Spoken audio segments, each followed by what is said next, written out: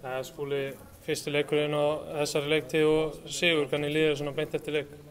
Mér líður ógeðslega vel, um, þetta er mikil, mjög mikil léttir, um, ég átti bara erfitt með með þetta leik.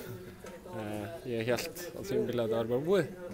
þannig að þetta er óbæðslega, óbæðslega sætt fyrir mig persónulega og, og náttúrulega frábært að koma inn lið á þessum tímubúti þegar það gengur vel. Já, og minna bara svona, verið upp í stúku og svona í óvissinu, það er, það er ljúft að geta að reyma á sér skóna aftur. Það er mjög ljúft, það, við þekkjum það sem erum í þessu sportið, það er, það er erfitt þegar þetta tekið á okkur svona þess að við höfum eitthvað, eitthvað við að segja, þannig að hérna, á tímubili var þetta mjög erfitt andlega, þannig að hérna, mjög ljúft að vera komin aftur inn á velli. Og ég finna bara komin í þetta káli sem er á, er á flugi, það er, það er gaman að vera í káli í dag.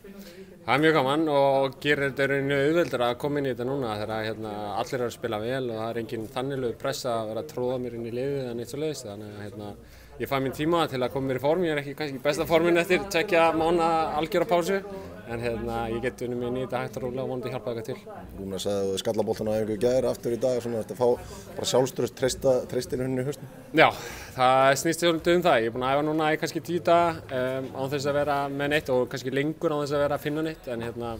fyrst getið gæðir sem ég skallaði boltaði okkur viti og, og það gekk vel, þannig að hérna,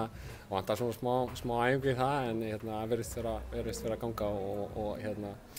og vonandi kemur ekkert bakslega í þetta. Ofta er leikmenn lenda í svona meðslum þá komaður með Peter Cech, hjálmun á völlin, kom það aldrei til greina það þér? Nei, ég hugsaði eitthvað út í það, ég hef búin að kynna mér þetta eitthvað og það við þessu þá kannski gera það ekkert vola mikið nema kannski mögulega að gefa eitthvað smá sjálfströst en hérna ég ákvaða að sleppa þið bara og vonandi er það bara ágætt sákur. Rúnar sagði að það væri búin að æfa núna með liðinu í mánuð, ertu að fá einhverja höfverki eða eitthvað svolítið eftir æfingar eða bara liðið vel undanvari? Já, frá og með þessum já, mánuði kannski sem ég fór að byrja að geta gert eitthvað á þess að finna neitt og, og síðan þá hef ég farið svona hægt og rólega að stað og kannski búin aðeins núna já, í svona tvær vikur. Þannig að hérna, já, þetta er að, að mjagast að stað.